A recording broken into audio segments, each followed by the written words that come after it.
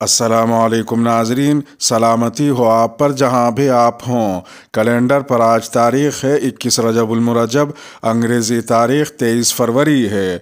अपने मेज़बान राही हिजाजी से आलमी ख़बरें सुनिए। अफ़गानिस्तान ख़वातीन के हक़ में चार बड़े फ़ैसले। अफ़गानिस्तान के सूबा खोस्त की मकामी हुकूमत ने खातन के हकूक़ के तहफ़ के लिए चार बड़े फ़ैसले कर लिए हैं। तफसीत के मुताबिक अफ़गान सूबे खोस्त की मकामी हुकूमत की जानब से कबायली अमादीन और उलमा की मुशावरत से ख़वान के हकूक़ के तहफ़ और गलत रसूमात के ख़ात्मे के लिए अहम फ़ैसले किए गए हैं। इन फ़ैसलों के मुताबिक कोई भी शख्स ताकत के बल पर किसी लड़की का रिश्ता अपने नाम करने का ऐलान नहीं करेगा। दुश्मनी के फैसलों में लड़की नहीं दी जाएगी। बेवा अपनी मर्ज़ी से जहाँ चाहे निकाह कर सकेगी, उसे कोई अपने ख़ानदान में निकाह पर मजबूर नहीं कर सकता और ख़वातीन को मीरास में हिस्सा मिलेगा। हुकूमत अमादीन और उलमा ने यह फ़ैसला भी किया कि कातिल की जगह उसके ख़ानदान या बिरादरी का दूसरा फ़र्द कत्ल नहीं किया जाएगा। नीज़ कातिल को ख़ुद कत्ल नहीं किया जाएगा, बल्कि उसे अदालत के हवाले किया जाएगा। खोस्त की हुकूमत ने मेहर की मकदार भी महदूद कर दी है और कहा है कि शादियों में मेहर साढ़े तीन लाख रुपए से ज़्यादा नहीं लिया जा सकेगा। याद रहे कि गुजशत बरस दिसंबर में अफगान हुकूमत के सुप्रीम लीडर मुल्ला अखुनजादा ने खातन की ज़बरदस्ती शादी पर पाबंदी आयद कर दी थी। हुक्मनामे में कहा गया था कि शादी से पहले लड़की की इजाज़त लाजमी है। तकमीली तलबीना, ताकत, सेहत और शिफा के लिए सुन्नत और तिब्बे नबवी का बेहतरीन नुस्खा। अभी ऑर्डर करें। कम पैसे में हमारे साथ बिज़नेस शुरू करें। भारत भर से डिस्ट्रीब्यूटर बनने के लिए कॉल करें। आठ छ नौ आठ दो चार दो दो छ एक। तकमीली herbal health care Malegaon, India. Taliban, Afghanistan के लिए अजीम शान फौज बनाने में सरगर्म। अफगान तालिबान के रैंक क्लियरेंस कमीशन के सरबराह लुत्फुल्ला हकीमी ने बताया है कि मुल्क के लिए एक अजीम फ़ौज तश्कील दी जा रही है, जिसमें सबक हुकूमत में काम करने वाले अफसरान और फौजी दस्ते भी शामिल होंगे। खबर रसा इदारे एफ़ पी के मुताबिक लुत्फुल्ला हकीमी ने एक न्यूज़ कॉन्फ्रेंस में बताया कि गुज्त साल अमरीकी और इतिहादी फोर्सेस के इनखला के दौरान नाकबिल इस्तेमाल करार दिए गए इक्यासी हेलीकॉप्टरों और तैयारों में से निसफ़ की मरम्मत कर दी गई है। उन्होंने मजीद बताया कि तालिबान फोर्सेज ने मुल्क का कंट्रोल संभालने के दौरान तीन लाख से ज़्यादा हल्के हथियार, छब्बीस हज़ार भारी हथियार और तकरीबन इकसठ हज़ार फौजी गाड़ियों को अपनी कंट्रोल में लिया था। इकतदार में आने के बाद तालिबान ने अशरफ गनी हुकूमत से मुंसलिक हर फर्द के लिए आम माफ़ी का वादा किया था, लेकिन अफ़गानिस्तान से इनखला करने वाले एक लाख बीस हज़ार के करीब शहरीों में से ज़्यादा तादाद उन्हीं लोगों की थी जो सबक हुकूमत में आला हुकूमती और फौजी अहदों पर तयनत थे। दूसरी जानब, सबक हुकूमत में अहम अहदों पर तयनत जो लोग मुल्क में रह गए थे, उन्होंने इंतकामी कार्रवाइयों के खौफ से बज़ाहिर गुमनामी इख्तियार कर ली थी। अकवा मुतहदा ने रवा बरस जनवरी में कहा था कि गुजशत अगस्त से लेकर अब तक सबक मुसल्ह अफवाज से मुंसलिक सौ से ज़्यादा अफराद मारे जा चुके हैं। ताहम अफगान वजारत दाखिला ने इन रिपोर्ट्स को मुस्तरद करते हुए कहा था कि इमारत इस्लामिया ने आम माफ़ी के ऐलान के बाद किसी को नहीं मारा। कुछ ऐसे वाक़ात हुए हैं, जिनमें सबका फ़ौजी ज़ाती दुश्मनियों में मारे गए हैं। ऐसे वाक़ात की सख्त तहकीक और तफ्तीश जारी है।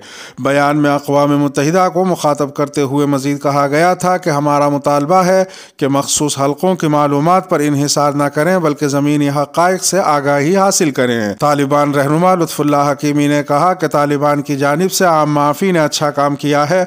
उन्होंने कहा कि अगर आम माफ़ी का हुक्म जारी न किया गया होता तो हमें बहुत ख़राब सूरत हाल देखने को मिलती। उन्होंने मजीद कहा कि जो खुद कुछ हमलावर किसी शख्स को निशाना बनाने के लिए उसका पीछा कर रहे थे, अब वही खुद कुछ बम्बार उसकी हिफाजत कर रहे हैं। लुत्फुल्ला हकीमी ने कहा कि फ़ौज की तश्कील के हवाले से हमारा काम जारी है। उन्होंने मजीद बताया कि पायलट और इंजीनियर्स, लॉजिस्टिक और सबक हुकूमत का इंतज़ामी अमला सिक्योरिटी के शोबे में अपने अहदों पर हैं।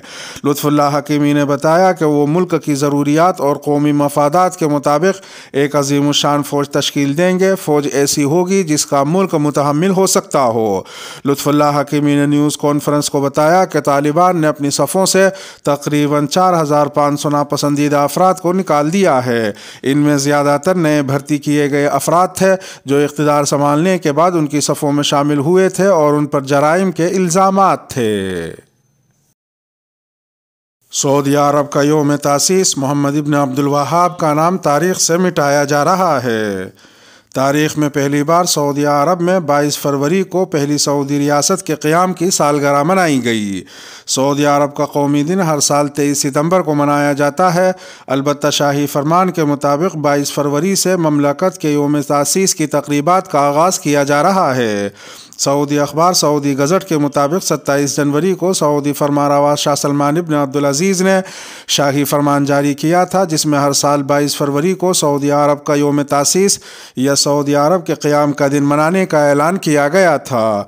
आमतौर पर 1744 को सऊदी रियासत के बाकायदा आगाज़ का साल करार दिया जाता था, जब कबायली रहनुमा मोहम्मद इबन सऊद ने इस्लामी मुबलिक मोहम्मद इबन अब्दुल वहाब के साथ इतिहाद किया था।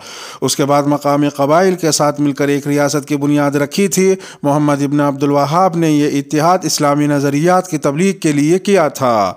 बहुत से मुबसरीन योम तासीस के लिए इस ऐलान को सऊदी अरब में वली अहद बिन सलमान की इस्लाम मुखालिफ शुरू की गई तब्दीलियों के तनाजुर में देखते हैं। गुजशत माह जारी होने वाले शाही फरमान में बाईस फरवरी को सऊदी अरब के योम तासीस करार देने के ऐलान को माहरीन सऊदी अरब की तारीख असर नो तरतीब देने का इशारा करार देते हैं। वाशिंगटन में कायम अरब गल्फ स्टेटस इंस्टीट्यूट से वाबस्ता स्कॉलर का कहना है कि मोहम्मद इबन अब्दुल वहाब को सऊदी अरब की तारीख से मिटाया जा रहा है।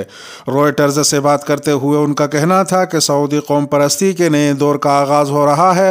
मोहम्मद इबन सऊद की याद मनाने से आवाम को शाही ख़ानदान से बरह रास्त जोड़ा जा रहा है और इसके ज़रिए रियासत के क़्याम में मज़हब ने जो किरदार अदा किया था, उसे कम अहम बनाकर पेश किया जा रहा है। सरकारी मीडिया के मुताबिक सऊदी अरब के योम तासीस पर तीन तीन रोज़ तक तकरीबा जारी रहेंगी, जिनमें सऊदी अरब की जदीद तारीख पर मौसीकी के प्रोग्राम, आतिशबाजी और दीगर सरगर्मियाँ तरतीब दी गई हैं, जिनमें तीन हज़ार पाँच सौ से जायद फ़नकार शिरकत करेंगे। सऊदी अरब में बाख्तियार तस्वूर होने वाली हुकूमत की शुरा कौंसिल ने गुजशत माह सऊदी अरब के कौमी तराने और परचम से मुतल कवानीन में भी तरमीम की मंजूरी दे दी है। ताहम यह अभी तक वाज नहीं कि इस तरमीम के नतीजे में सऊदी अरब के परचम में कोई तब्दीली की जाएगी या नहीं जिस पर कलम तय्यबा, ला इलाहा मोहम्मद रसूलुल्लाह दर्ज है। इमरान खान मोदी शो, क्या पाकिस्तान और इंडिया के दरमियान गलत फहमियाँ दूर हो सकती हैं? पाकिस्तान के वज़ीर अजम इमरान खान ने रूसी चैनल को दिए गए एक इंटरव्यू में अपने इंडियन हम मनसब नरेंद्र मोदी के साथ टीवी पर बरह रास्त मुबासा करने की ख्वाहिश का इजहार किया है। मंगल को दिए गए इंटरव्यू में वज़ीर अजम इमरान खान का कहना था कि इंडिया में हिंदू कौम परस्ती की तहरीक के बानी जर्मन नाजियों से मुतासर थे और उनकी तारीफ़ करते थे। इमरान खान ने कहा कि कौम परस्ती दो तरह की होती है, एक मनफी और दूसरी मुस्बत। इन दोनों में फ़र्क रवा रखना चाहिए। जब मैं कहता हूँ कि हमारी कौम बहुत काबिल है तो आगे बढ़ने की तहरीक देता हूँ। लेकिन अगर मैं ये कहूँ कि आप बेहतरीन कौम है, मगर इन दीगर कम्यूनिटीज़ की वजह से तरक्की नहीं कर सके हैं तो इससे दूसरों से नफरत नफरत उभरती है और खून खराबा होता है। रूसी टीवी की मेज़बान ने इस पर कहा कि हमें यकीन है कि दहली में इंडियन वज़ीर अजम नरेंद्र मोदी आपकी बातों से इतफाक़ नहीं करेंगे और अगर वो अपने ख्याल इस पर देना चाहें तो हम इसको भी नशर करेंगे। इस पर वज़ी अजम इमरान खान ने कहा कि मुझे टी वी पर नरेंद्र मोदी से मुबासा करके खुशी होगी। वाज रहे कि पाकिस्तान के वज़ी अजम इमरान खान इससे कबल भी इंडियन वज़ी अजम को तमाम मसाइल पर बातचीत करने के लिए मुजाकर की दावत देते रहे। हैं। दो दिन पहले वज़ीर अजम इमरान खान के मुशीर बरए तजारत अब्दुलरजाक दाऊद ने कहा था कि पाकिस्तान और इंडिया के दरमियान तजारत के हामी हैं क्योंकि इससे दोनों मुल्कों को फ़ायदा होगा। इसराइल में पहली मरतबा किसी मुस्लिम को मुस्तकिल जज बनाया गया। यहूदी अक्सरियती मुल्क इसराइल ने पहली बार अपनी सुप्रीम कोर्ट में किसी मुस्लिम जज को मुस्तकिल तौर पर जगह दी है। पीर के रोज़ इसराइल के अफसरान ने कहा कि खालिद कबूब को सुप्रीम कोर्ट में मुस्तकिल जगह फराहम की गई।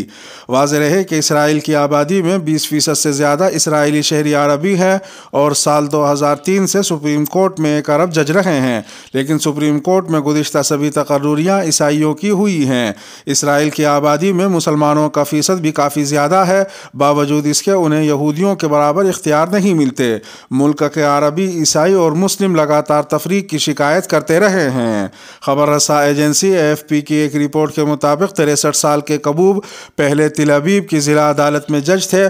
कबूब उन चार जजों में से एक हैं जिन्हें सुप्रीम कोर्ट के जजों, वज़रा, अरकान पार्लियामेंट और वकला की एक कमेटी के ज़रिए सुप्रीम कोर्ट में मुकर किया गया।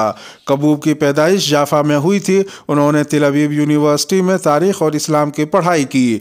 कबूब ने कानून की डिग्री हासिल की और फिर जज बनने से पहले प्राइवेट प्रैक्टिस की। कबूब से कबल इसराइली सुप्रीम कोर्ट में वाहिद मुस्लिम जज अब्दुलरहमान जोबी थे। अब्दुलरहमान जोबी को सिर्फ़ एक साल के लिए सन उन्नीस सौ निन्यानवे में गैर मुस्तकिल ज़िम्मेदारी सौंपी गई थी। इसराइली सुप्रीम कोर्ट मुस्तकिल तौर से इन मामलों की समात करता है, जो इसराइल फ़लस्तीन जद्दोजहद से जुड़े होते हैं। इन मामलों में इसराइली कब्ज़े वाले वेस्ट बैंक में फ़ौजियों के ज़रिए मुबैना खिलाफ वर्जी के मामले भी शामिल होते हैं।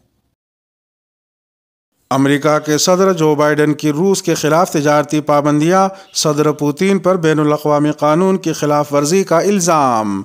अमरीकी सदर जो बाइडन ने रूस के ख़िलाफ़ तजारती पाबंदियों का ऐलान करते हुए कहा है कि अमेरिका और उसके इतिहादी यूक्रेन के साथ खड़े हैं। वाइट हाउस में ख़िताब करते हुए उन्होंने रूस की जानब से अपने फ़ौजी दस्ते मशरक़ी यूक्रेन में बागियों के जेर कंट्रोल दो ख़ितों में भेजने के इकदाम को बैन अवी कवानीन की खिलाफ वर्जी करार दिया है। याद रहे कि रूस के सदर व्लादिमिर पुतिन ने गुज्त रोज़ मशरक़ी यूक्रेन में बागियों के जेर कंट्रोल इलाकों को बतौर आज़ाद रियासतें तस्लीम करने का फैसला किया था। डोनेट्स और लोहास्क में रूसी हिमायत याफ्ता बागी 2014 से यूक्रेन की अफवाज से लड़ रहे हैं और वो वहाँ इन इलाकों को आज़ाद रियासतें करार देते हैं। रूस पर माली पाबंदियों का ऐलान करते हुए सदर जो बाइडन का कहना था कि अब मगरबी ममालिक की जानब से रूस में सरमाकारी नहीं की जाएगी।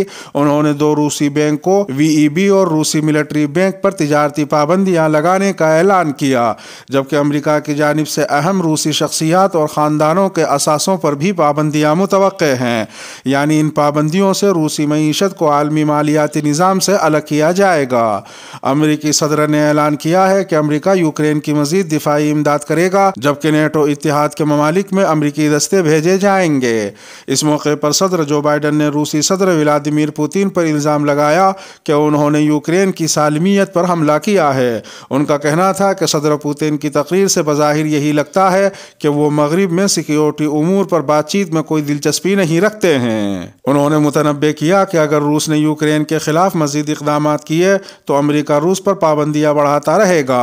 उनका कहना था था कि अमेरिका का रूस से लड़ने का कोई इरादा नहीं, मगर नेटो इतिहाद के इलाकों की हिफाजत की जाएगी।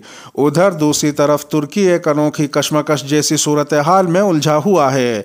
एक तरफ़ तो उसके यूक्रेन और रूस दोनों के साथ अच्छे ताल्लुक हैं, लेकिन दूसरी तरफ़ अनकरा उसूली तौर पर रूस के खिलाफ पाबंदियों की मुखालफत भी करता है। यूक्रेन के बहरान के दौरान सदर रजब तैयब उर्दुगान को नेटो के अंदर अपने फ़राइज पर कार्बन होने के साथ साथ उन सिफारती ताल्लुक में तोज़ुन पैदा कर करने का सामना है, जिसके ज़रिए नेटो के रुकन की हैसियत से तुर्की को फ़राइज़ को निभाना है और साथ साथ तुर्की को हालिया करेंसी बहरान के तनाजुर में मुल्की मीशत को मज़ीद झटकों से भी बचाना है। इसके साथ ही ख़बरों का अख्ताम हुआ। वीडियो को आखिर तक मुलाहजा फरमाने पर शुक्रिया।